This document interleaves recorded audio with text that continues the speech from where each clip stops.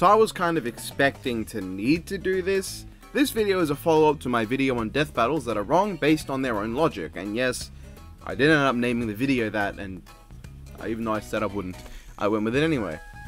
I go watch that video first and then come back to this one. So, this video is going to be a follow-on, uh, based on some some episodes people suggested in the comments. The first thing I want to clarify though, once again, is the theme of this video. There seems to be some confusion, which I did expect. Namely, people like bringing up death battles that they consider just wrong outright. Or death battles that bring things up that are wrong. For instance, uh, Android 18 absorbing energy. It wasn't brought up, even though I did bring up 18 vs Captain Marvel, and it is wrong. Android 18 does not absorb energy. However, instances of just being wrong about a thing aren't the theme at all unless it's relevant. There would be too many small minor mistakes to bring up, and I don't think this video really would be helped out if I bring up that Hawkeye's weight is measured in feet and inches. This isn't a video of just various miscellaneous mistakes, but episodes that I think were not explained in a way to adequately represent why the winner won, based solely on the evidence brought up in the episode. And I want to bring that up. and I think this is nitpicky. People use the word nitpick a lot to disregard criticism. While I do understand some people don't particularly care about those criticisms, and I think that's fair, I don't think it's fair to class any criticism as a nitpick. When I criticize the death battle, I am completely fine if people disagree and they think it's not that big an issue. However, it's a bit off if they just go, oh, you think this massive part of the episode's bad? You're just nitpicking. Who cares? Who cares if this massive chunk of the animation looks shit to you? That five minutes, that's a nitpick. If there's an issue with how a character is portrayed or with the choreography or the sprites used in an animation, it's not a nitpick, because that would imply that those are not very important elements of a death battle. Especially characters being portrayed accurately. People, why do people say that's not important? How would you feel if they used Batman again, but he was written as a bumbling idiot who doesn't know any martial arts and speaks in Swahili? How would you feel if we got a second episode of Spider-Man, where he acts like Doctor Doom? People who just think it's not important as long as it's well choreographed help emphasize my point even. If you don't know a character, you won't care how well they're portrayed. If you do know a character, you're gonna care. Nobody goes into a Spider-Man death battle wanting to see a character with Spider-Man's powers who is not Spider-Man. They go in because they like Spider-Man as a character. You should write your episode to please everyone. If someone's a fan of Goku, they want to see Goku, not just some rando with Goku's power set. They're more than just functions, if you know what I'm saying. And like when I say, oh man, this animation is janky, oh, you're just nitpicking. Nitpicking? That's the entire animation! The entire animation having an issue counts as a nitpick? Since when did nitpick lose any meaning as a term? At this point, it's going to be like, oh, I think the whole episode's bad. You're just a nitpicker. The whole episode is just a small part of the thing. As for this particular subject, I don't, I, I, I don't know. I didn't go into this necessarily intending for it to be criticism of Death Battle, though it kind of is. It's strange because this is a criticism-based topic. I'm criticizing the way they portray information, but personally, I didn't go in intending to criticize Death Battle. It was just here are some fun little things that Death Battle did wrong. But I still wouldn't consider it a nitpick, because the entire purpose of the show is to answer who would win in a fight.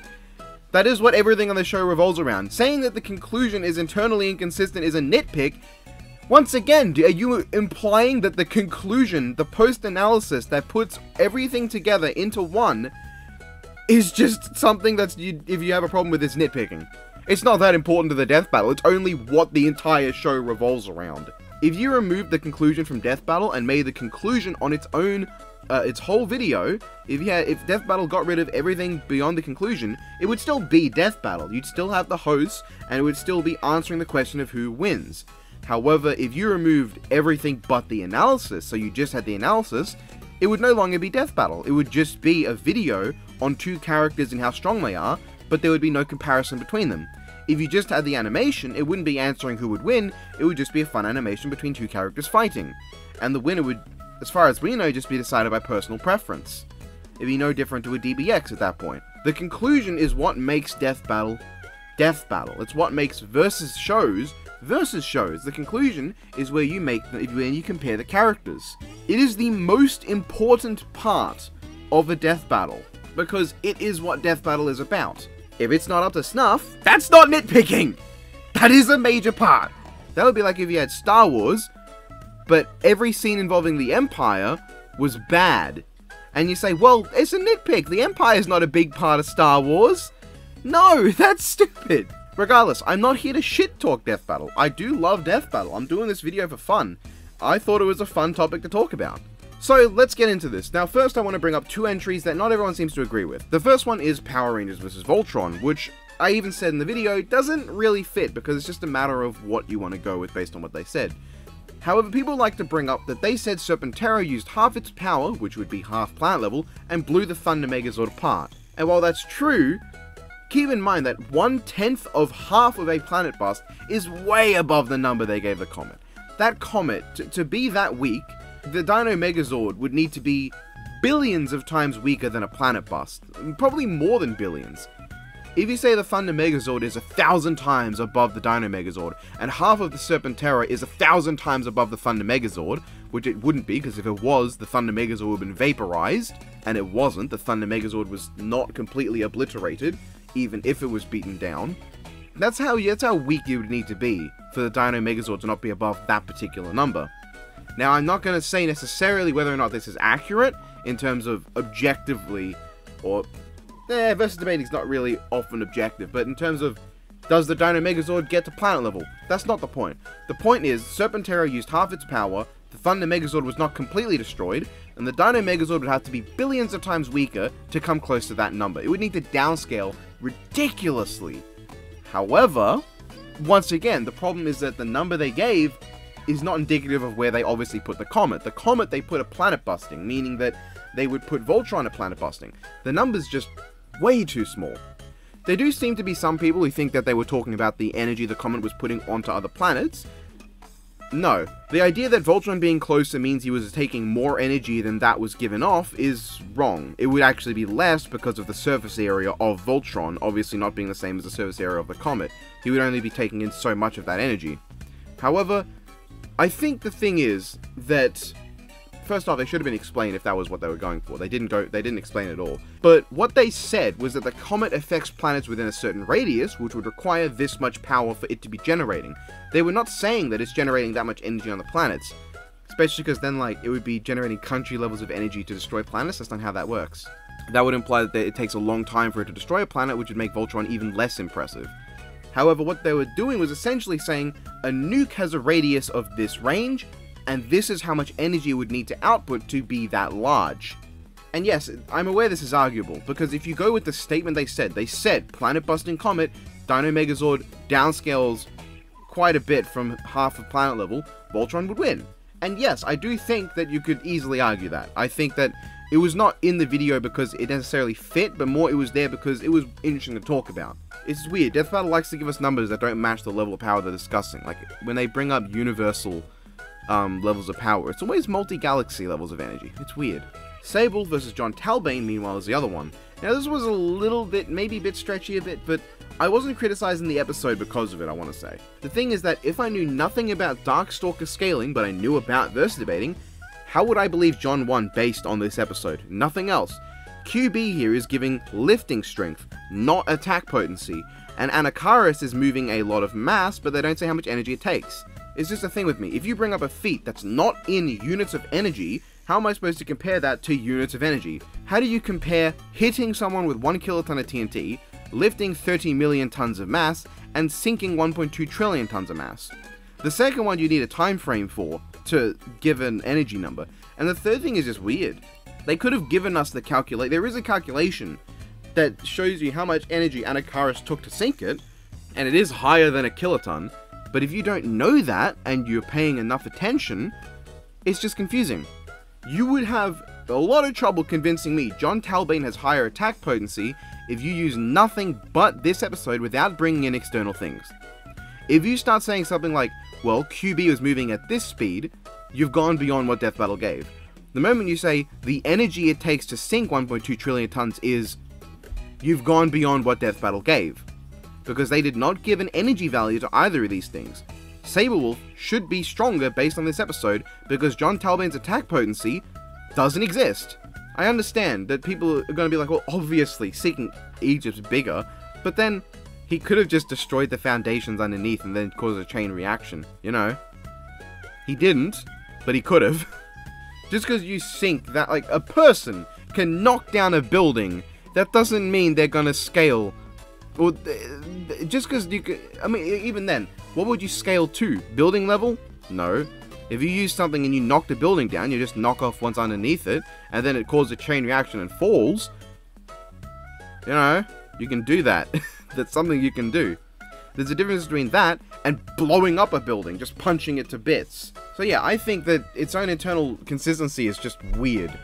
And once again, remember, this has nothing to do with if I believe the episode was correct or not, my subjective opinion on who should have won. It is based on whether or not the winner was accurate, solely on the evidence given. Nothing external. No, no, this is how much energy it took to sink Egypt. No, this is how fast Q-Bee was moving.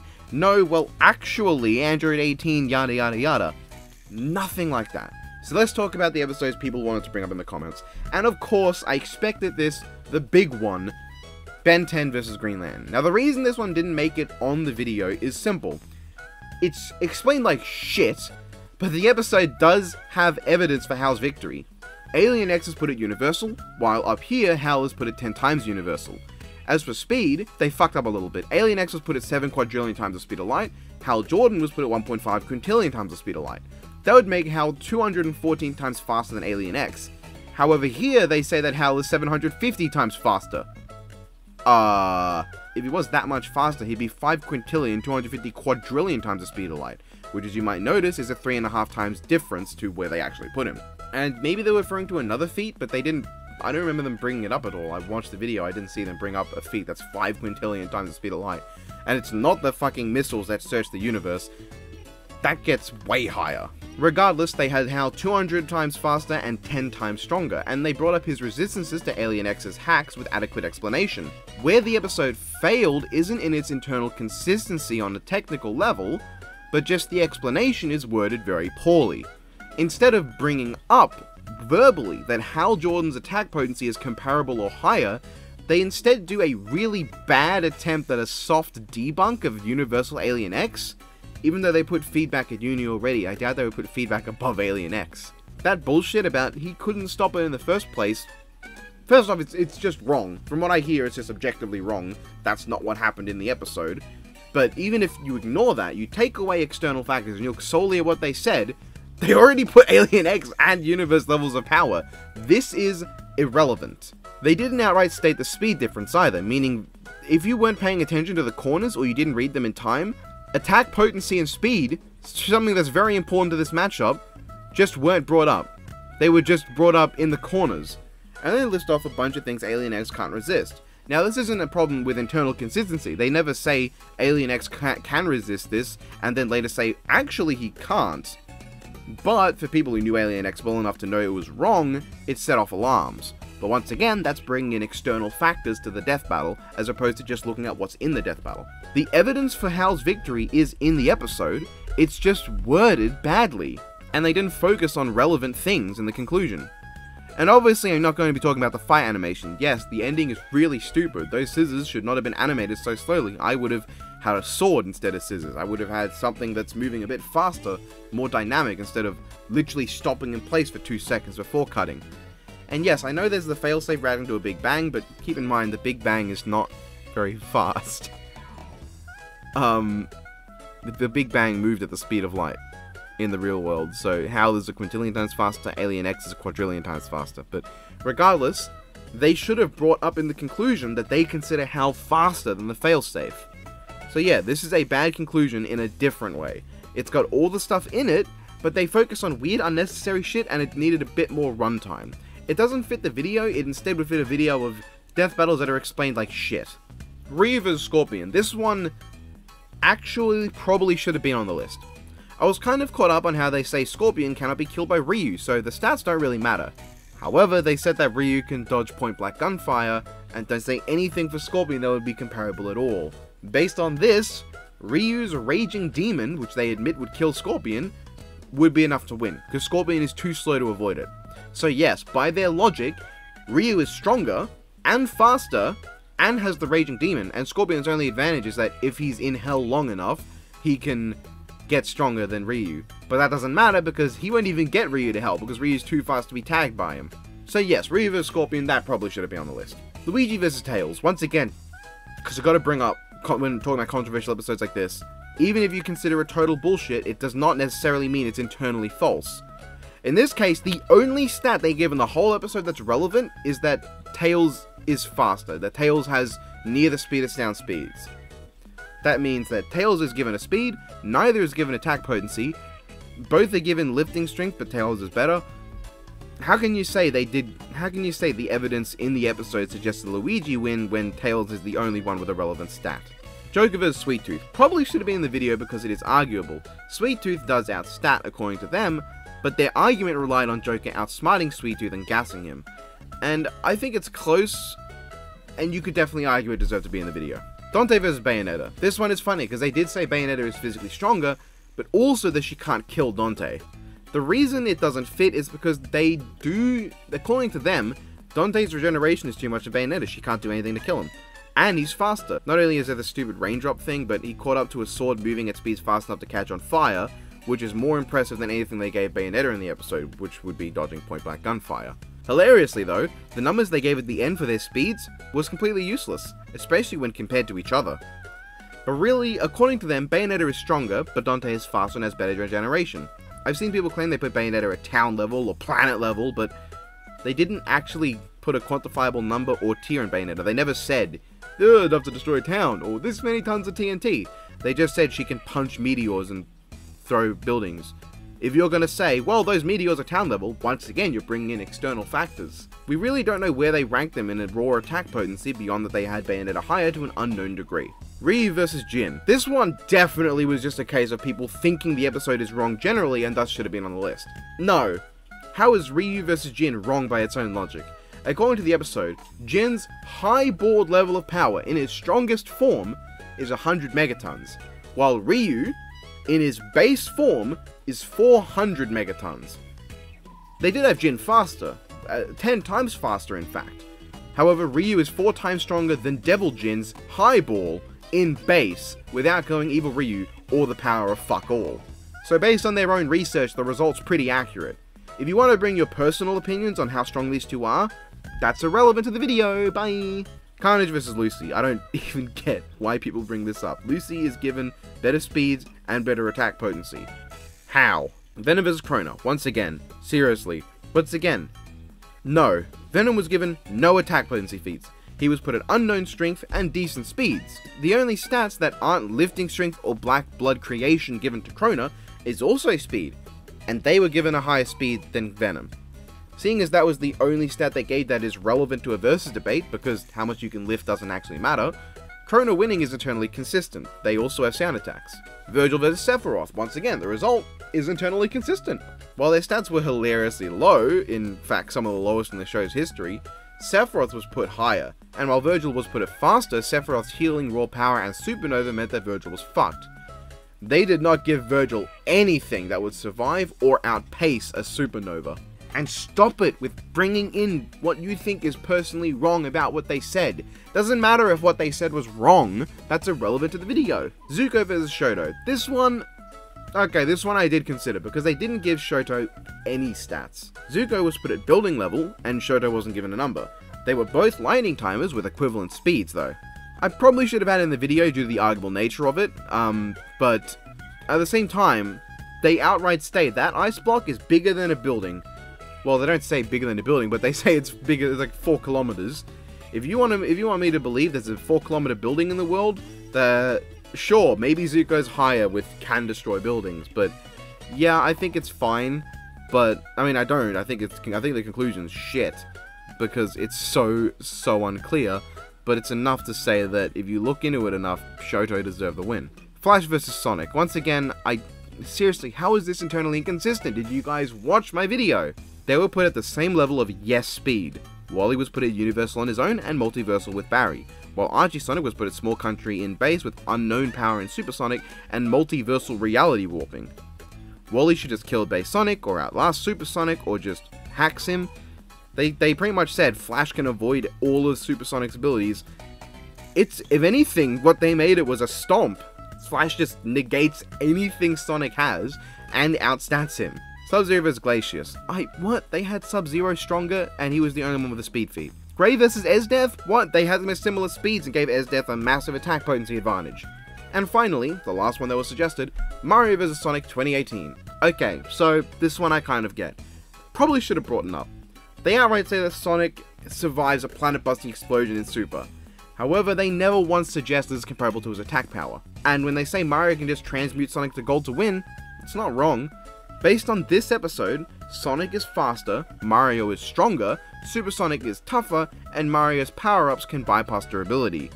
So internally, it's not wrong. And that was the video. From what I got, there's maybe a couple episodes I should have brought up, one that I just completely missed, and two that I should have explained better. There's one that needed to be brought up due to the subject matter, and a bunch that were just brought up as ones people personally disagreed with as opposed to ones that fit the theme. Watch the video before you suggest what should have been on there. Okay, bye. And obviously I wasn't suggesting Darth Vader vs. Doctor Doom was actually wrong. Doc it's probably one of the biggest stomps in the show's history, but they didn't give Doom anything!